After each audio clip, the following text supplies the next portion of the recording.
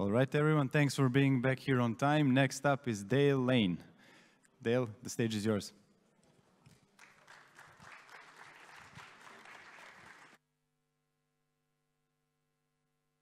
Thank you very much. Ah, excellent, you can hear me. Um, hi, yes, uh, as you heard, my name is Dale. I'm a developer for IBM uh, with a background in AI and machine learning.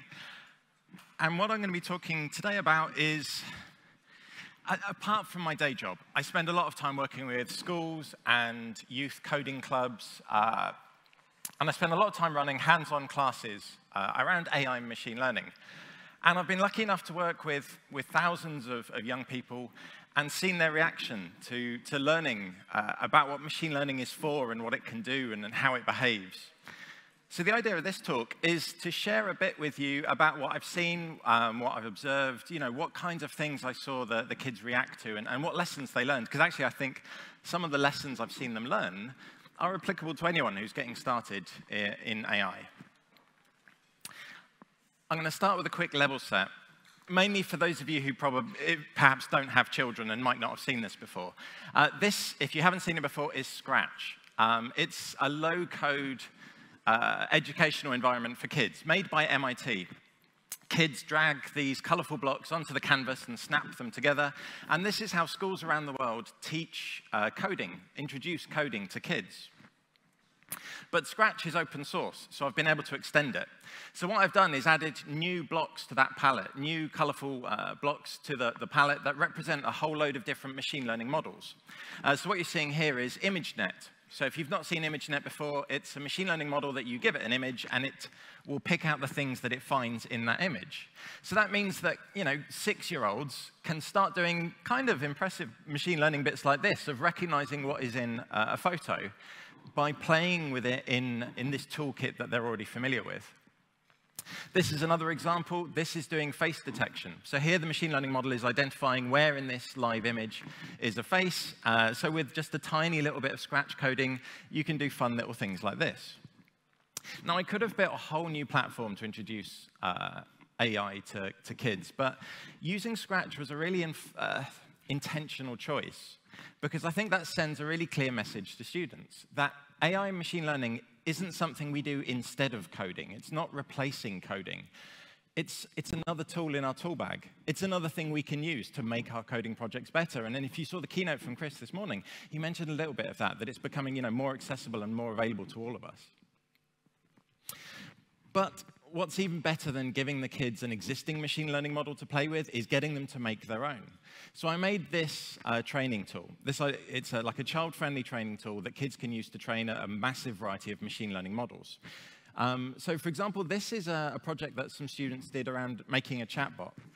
So they choose the subject uh, of what they want their chatbot to be about. Here they were doing something about the moon. So they tried to guess what kind of questions someone might ask about the moon, like how far away it is, how big it is, what it's made of, what the temperature is. And then they collected examples of how someone would ask those questions. They used those questions, those example questions they'd written, to train a machine learning model, and then they went into Scratch and they made something like this. So here, what you've got is uh, an assistant that you ask it questions about the moon, and it uses the, the script to, to know which answer to give. And I've done variations on this. Um, but we tailor it to whatever the, the, class is currently doing. So I've uh, helped classes make uh, chatbot William Shakespeare that answers questions about his life and his plays, uh, chatbot politicians, uh, chatbot kings and queens, all sorts of stuff. But what they learned from doing this is that basic workflow of a machine learning project of uh, predicting what things you think the system's going to need to respond to, collecting examples of that thing, using those examples to train a machine learning model, and then scripting what you want the system to do in response when it sees something that it recognizes. And that workflow, although we did it in class with, with eight-year-olds, is, is kind of true, holds true for a lot of the real-world projects that I work on. Next lesson. Um, this is uh, one student's training data from making a Pac-Man project. Uh, Pac-Man, that game, you know, where you're navigating around a maze. They made that game in Scratch. And what you're seeing here is the history of all the moves they made. So what they did is they coded this so that every time they pressed an arrow key, up, down, left, or right, the XY coordinates of the ghost and the XY coordinates for their character were captured from the Scratch game and put into one of the training buckets. So they were training it by playing the game. So the more they played, the more examples they put into these training buckets uh, to train a machine learning model uh, to be able to predict what's the best next move they could make. So what that looked like is uh, Too many examples. Uh, yeah, so they, they collected the examples as a byproduct of playing the game. By pressing the arrow keys, they were capturing coordinates and putting it into those training buckets. So then once they collected enough examples to train a machine learning model, they could put their machine learning model in charge of Pac-Man, take their hands off the keyboard and watch it essentially play itself. But what they learned from doing this was when they'd only collected a few examples, and then tried it out, their Pac-Man was rubbish. It would like run straight into a wall and get stuck. So they would do a little bit more training, collect a few more examples, and it would do a bit better. It would navigate around the walls, but it would get caught really quickly. So they collected more and more examples, and it got better and better. And, and by the end of the lesson, their Pac-Man was able to evade the ghost forever, always one step ahead. So what they learned was there's this really, I mean, what I would describe as the correlation between uh, the, the, quantity of training data and the accuracy of the model. I mean, I'm working with seven-year-olds. They weren't using words like that, but they still were able to spot that pattern that the more training data you have, the better your system behaves. And that that recognition that we need more training data to make our project successful is a really key lesson to learn. And I love doing projects like Pac-Man with a class after they've done something like the chatbot one because there's always one, kids are honest, right? There's always one really honest kid who points out that typing in all the training examples for the chatbot example was really boring compared with playing a game. But I kind of think that's an important lesson to learn, right? That because they're not wrong you know, if you can collect training examples as a byproduct of something you're going to enjoy doing or something you're already doing, that's going to make a much more successful project. You know, collecting training data being the most boring, tedious, time-consuming part of a project, that's not a bad lesson for the students to learn. And it holds for a lot of the projects that I do. So um, this is um, a similar to the Pac-Man one, we were doing noughts and crosses. Same kind of idea. The kids played noughts and crosses against the computer. Every move they made um, went into one of the training buckets. So they were training a machine learning model how to play the game. Um, and it's, I normally get the students to work independently because I like them seeing their own machine learning model that behaves in, in a different way to the student sat next to them. So they learn about how it's non-deterministic and they see that the training they've given it reflected in the behavior of that model. But with this class, um, the, the, students asked if they could work together. Um, so that instead of a separate set of training buckets for each student, they had one class set of training buckets, and then all of them started playing noughts and crosses at once, and they all filled in this shared set of training data. Um, and I really liked that idea because they collected hundreds and hundreds of examples really, really quickly. You know, 30 students can collect, 30, uh, can collect training data 30 times quicker than one on their own. Um, and actually, that's, that idea of crowdsourcing as a way of effectively gathering training data, it was a really I was really pleased that a group of seven and eight year olds sort of stumbled on that lesson for themselves, because um, it's a, a lesson that we all really need to learn. A few years ago, I was talking with a teacher who was doing uh, a series of lessons with their class about essentially media literacy. They were looking at how different news media sources covered the same stories, uh, which stories they sort of covered, that kind of thing. And and he was looking for a way of consolidating what he'd been learning, uh, what he'd been teaching the class.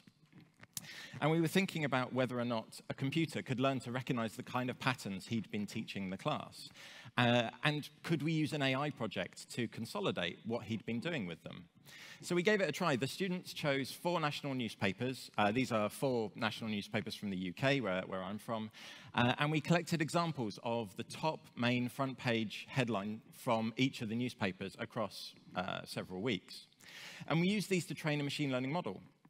The idea being that we'd uh, and we tested this model by making, again, a little thing in Scratch where you would give it a new headline that we hadn't, well, we'd give it a headline and we'd see which, uh, which newspaper the machine learning model would predict that newspaper had come, that headline had come from. Initially, I just told them to test their model. And they were all using headlines that we'd collected and used for training because they hadn't thought about it. So I sort of stopped them and I asked them, well, do you think that's a good test? You've already told the computer that male, white, and at least blah, blah, blah comes from this particular newspaper. Is that a good test? And they sort of paused because it was obvious the fact I was asking the question that I didn't think it was. But, but I, wait, I let them sort of think about it. And I sort of said, well, look at the, the tests, that, the exams you do in school. When your teacher explains something to you, at the end of term when you do an exam, is that question exactly the same as what you did in lesson? And they said no, because the teacher wants to see if we've really understood it. So they'll ask us a different question or they'll ask it to us in a different way. It's like, yes, well, that's what we want to do with computers. We need to give it different examples it hasn't seen before, because that's the only way we'll really know if it's actually learnt to, to, to do this job that idea, of, and again, how I would phrase it as separating training and test data, and the kids needed a bit of prompting on this one, but they did get that idea of it, we need to keep our training and test data apart, which again is a really important lesson for all of us. Machine learning can learn to recognize lots of different sorts of patterns, not just um, what something means. Uh, this is a project I do with really young kids. Um, two training buckets. I get them to put the nicest, kindest compliments they can think of in that one, and the meanest, cruelest insults they can think of in that one. The boys enjoy doing this side. Um, I've learnt some new words from doing this lesson. Um, and what they do with this is uh, I get them to, to train a machine learning model to do essentially sentiment analysis, to recognize the use of language uh, in, in compliments and insults. And then they make a character in Scratch that can respond. So if you say something nice to it, uh, it looks happy. Um, I normally get the kids to draw their own faces, but I can't draw, so I've used emojis. Um, if you say something mean to it, it cries. Again, the, the boys seem to enjoy that side more than, than making it smile. But this idea of using machine learning to create systems that can respond appropriately to the user, to recognize emotions in users and uh, recognize users' use of language, um, that's a really important use of machine learning. It's increasingly becoming common, so it was a nice one for the kids to learn about. Um, it's helpful when I can find an example uh, of a, a real-world application that the students are familiar with. Um, so something like Alexa or Google Home or Apple Siri is something that if they haven't got it in their home, they'll have seen it before, they'll be familiar with it. So I like doing projects based on real-world uses of AI. So with this one, we were training a, a virtual assistant to recognize a command. And we, two commands we identified for it, turn on a fan and turn on a lamp. They collected examples of how they would um, give each of those commands. And again, I encouraged the students to test their uh, their machine learning model. So when we got it in Scratch and we made this virtual assistant that would animate the things based on, on what you gave it, now I'd already told them, test it with new things, right? So, so they would ask it things like, please turn on the fan, and it would, off it would go, please turn on the light, and off it would go. Kids like to break things, and when you encourage them to try and break things, they will try and find those edge cases. Like a lot of kids I've worked with would make brilliant software testers. Um, my favorite one, I did a lesson, and one of the boys was testing this, and he uh, came up with activate the spinny thing for turn on the fan, um, which is just awesome. Um, but like I say, they find edge cases. So sometimes they would come up with a way of phrasing it that it would get wrong. So then I would ask them, well, what, what do we do now? What do you think we should do when the machine learning model makes a mistake? And you leave them to think about it, and they go, well, if we go back to those training buckets and add an example in there, then it will learn for next time and it will get better. Brilliant. That's exactly what we do. Um, when you understand a little bit about how this tech works, that's a really obvious thing to want to do. Collect examples of mistakes that your machine learning system makes in production, use that to improve the training so it incrementally your model gets better over time. But when Amazon does that, the media got really surprised like really, really surprised. Um, a lot of the media was kind of shocked that, that they would do that. They had no idea that this is the kind of thing that's actually really common in a machine learning project. But a classroom of primary school students who have worked through a similar process for themselves understood the motivation that led to this. Now, don't get me wrong, I'm not saying that the students all thought this was okay. Uh, but in fact, actually, a lot of the classes I've run have kind of been mixed on this. Some of them think it's okay, some think it's, some are horrified and shocked. And it's been fantastic because I've been able to sort of allow the class to have really interesting debates about whether or not this is okay, what kind of safeguards are needed, and what they think about this. But the point is, it's a debate they can have coming from a stand, starting point of understanding the motivation, understanding the tech, understanding why the companies behave like this, which is a much better place to have the debate than what I saw happening in the media. So that idea of, of collecting poorly handled inputs and crucially understanding the motivation of the big tech companies was a really good lesson for them to learn. Um, confidence scores are a really interesting thing. So I've got some of the blocks in Scratch that don't just return the answer the machine learning model has come up with, but the confidence score that it has. So if you're not familiar with this, it's this idea that in machine learning systems, you don't just get an answer, you get a score that tells you how confident the system is that it's correctly recognized your input. So I get the students to try and work with that. So this is, again, back to this idea of making a virtual Alexa. But what they've done here, and you can sort of see this over here, is if the machine learning model is less than 50% confident, it says, I don't understand, instead of just doing it anyway. Um, but how do you know 50 is the right number? I get them to experiment. I get them to play around, um, to try really high numbers, to try really low numbers. And then I ask them what they think about that and what is the right number. And it's really interesting to see how they characterize this. Um, because the idea is that if you, and I think you may have seen in the video, you can ask it things like, make me a cheese sandwich. And instead of just turning on the fan, it will say, I don't know what that means. Um, but understanding that what that confidence score means is, if you make that number really, really high, the system will only, get, will only take an action when it's really, really confident it's understood. And it will say, I don't understand all the time. If you make that number really, really low, it will normally make its best guess, and it very rarely says, I don't understand. So you ask the kids what they think of that. The best description I've heard from a group I was working with, um, I love the way she described this. She said it was like when she was in class and the teacher asked a question and she knew what the right answer was, but she wasn't sure and she was too timid or too shy to, to put her hand up and answer because she wasn't sure if she was going to be right. And that idea of, of setting the confidence score too high as making the machine learning system timid and shy, I love that as a metaphor because it's actually a really good description of, of that behavior. Um, so we talked about, you know, this idea of, well, when is it appropriate to have a really high confidence threshold? When is it, confident, uh, when is it appropriate to have a really low uh, threshold?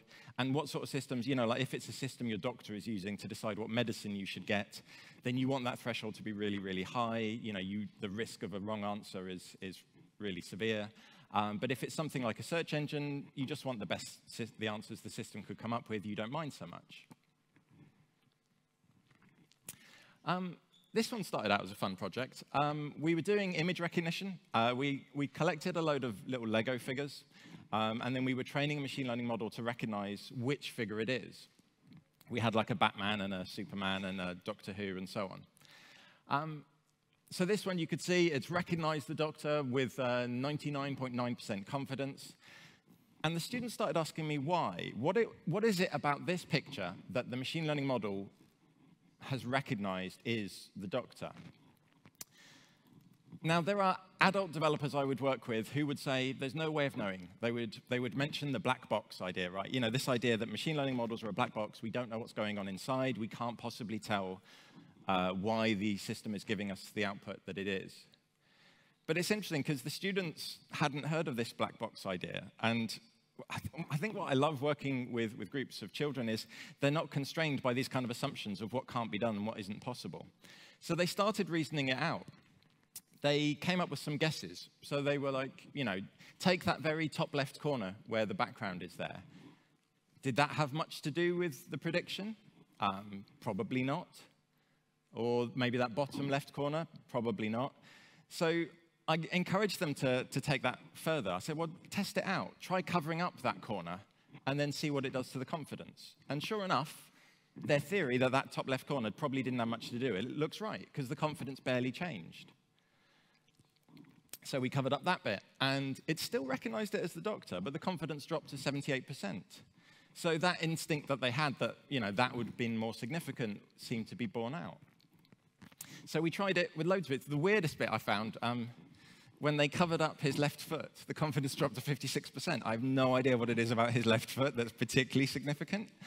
Um, but we, because Scratch lets them script things, and they do Scratch all the time, so they're really familiar with how to put ideas together in Scratch, they, they made um, a little script that moved that black square to every sort of position on the, on the stage, made a, recorded what the confidence was at each point, and then they made a visualization that changed the transparency of the square based on the difference it had on the confidence. So what they made here is a kind of a cool little visualization that shows you what parts of the image were the most significant. I really loved this. Um, but that idea of, and it, it, gave me a chance to introduce that idea of what we mean by black box, but, but rather than just presenting it as, therefore it can't be done, it gave them a chance to play around with, well, what can we do instead? How can we try to interpret what the machine learning model is doing, what it finds significant, what it, you know, why it's making the decisions that it is?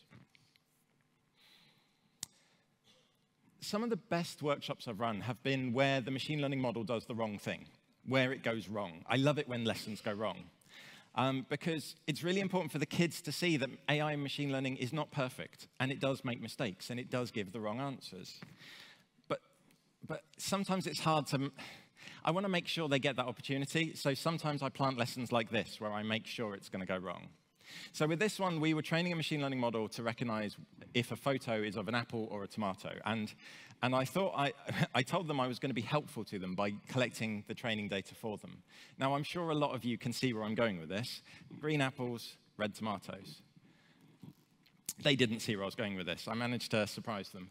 Um, we came to test it in Scratch and the idea of we'd give it a new photo it hadn't seen before and it would put it in either the apples or the tomatoes. But to test it, I gave them a load of photos of red apples and really unripe green tomatoes. And sure enough, it got loads wrong. Not all of them, but loads wrong. It put in the wrong place. Um, and it, it, was interesting because that surprised them. Um, and that once they'd sort of seen it happen, they were able to reason it out. You know, and you ask them, well, why did this happen? Well, we've taught the computer that red things are normally tomatoes and green things are normally apples. Um, so it's, it did this because that's what we taught it was true. Now, this was really heavily engineered, right? Like, I, I made this happen. What I love is when this happens accidentally, and it does from time to time in the lessons that I run. My favorite one was, was this one. Uh, we were doing, we were making a, a virtual sheepdog, uh, basically a game where it would put the cows and the sheep in the right parts of the field.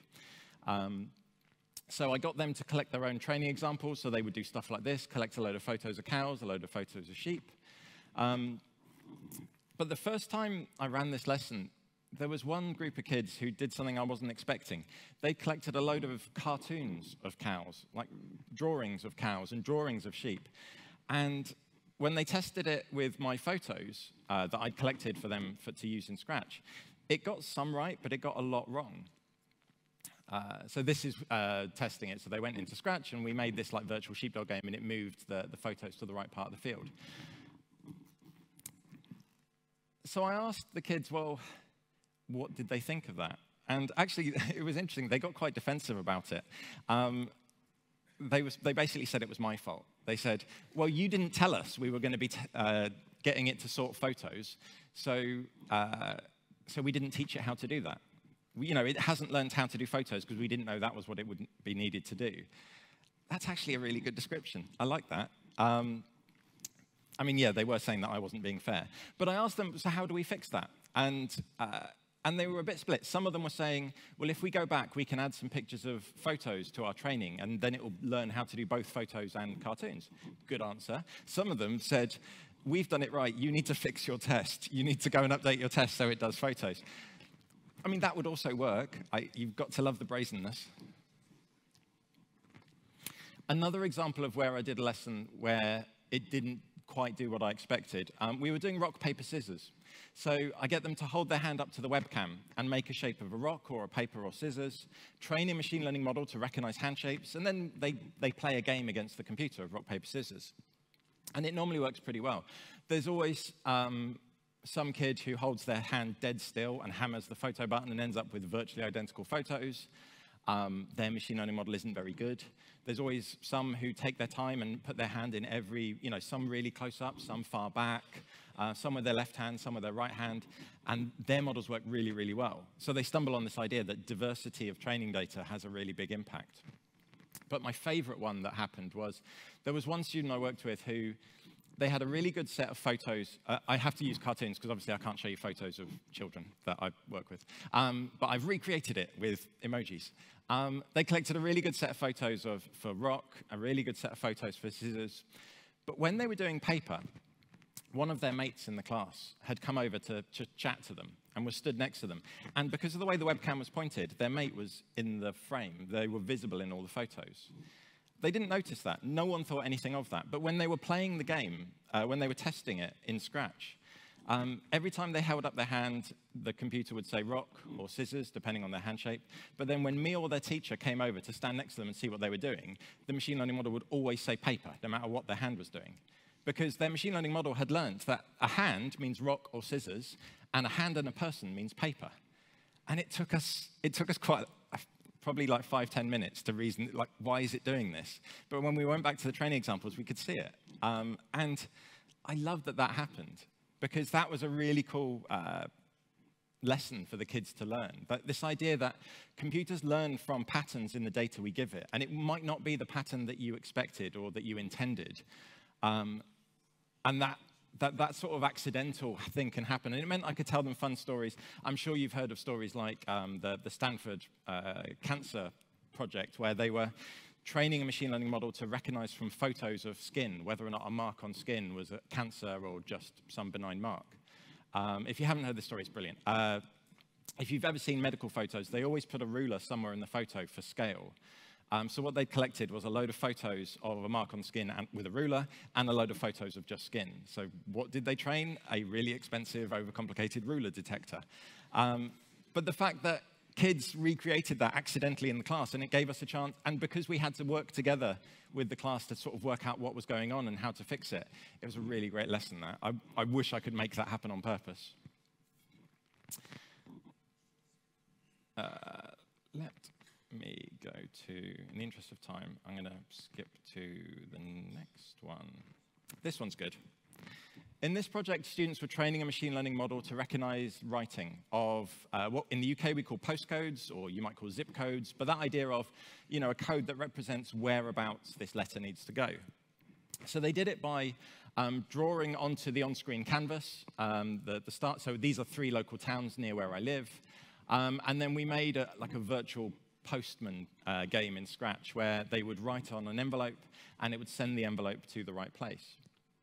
Uh, based on Postman Pat. I don't know if that's a cartoon character that has left the UK. You, you might have heard of it. Um, now, what I loved about this project, apart from the fact it's a really cool tech demo and it's a chance for them to learn about uh, optical character recognition and that kind of thing, is because this is based on a real world use of AI, you know, large sorting offices have automated the sorting of, of letters and, and, packages through technologies like this.